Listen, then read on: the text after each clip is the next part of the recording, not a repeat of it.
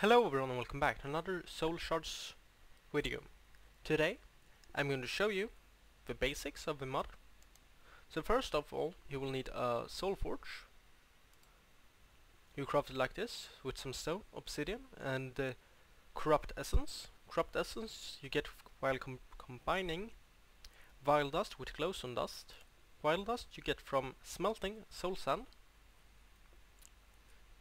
You also need vile dust to smelt your diamonds, or what you should call it, in this soul forge.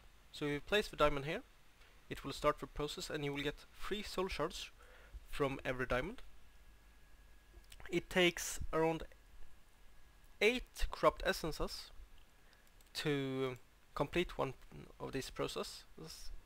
It will take up to 10 minutes I think so it takes a while. A vile sword is a weapon in uh, this mod. It's as powerful as a iron sword, but it has one advantage.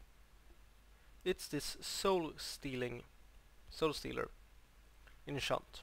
It will get you more souls when you kill enemies. So there we have a slime.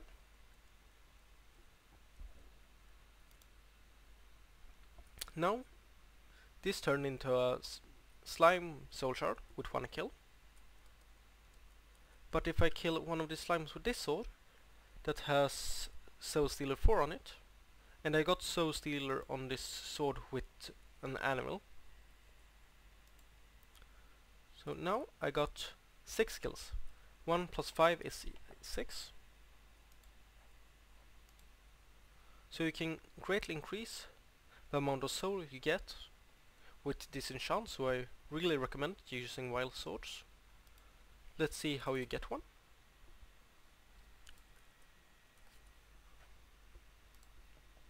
With corrupt ingots, and you get them from using gold in a soul, soul forge. Interesting. These crystals is a creative mod item that has no purpose or use in the version I'm using now. But I think in the future it will be a kind of a bank for soul shards.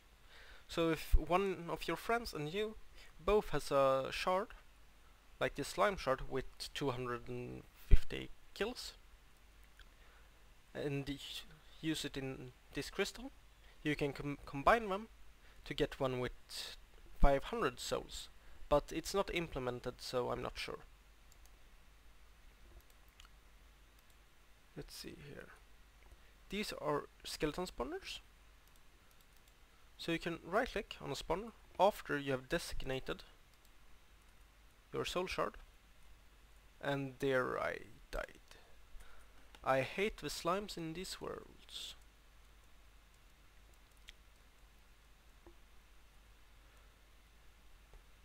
Let's kill him. Leave me alone!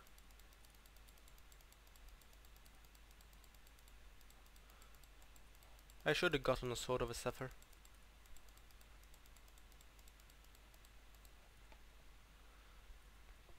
Now I need a skeleton.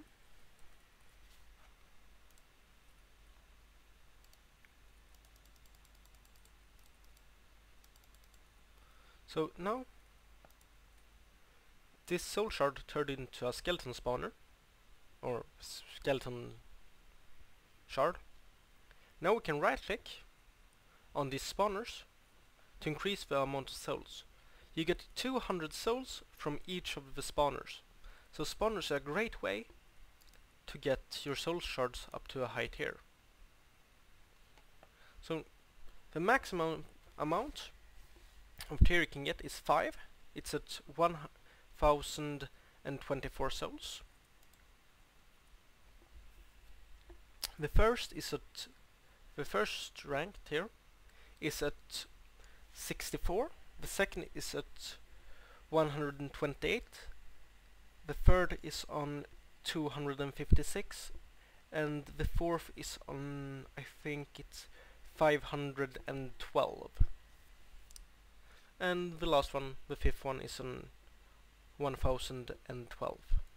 If you have any questions about the basics in Soul Shards, leave a comment.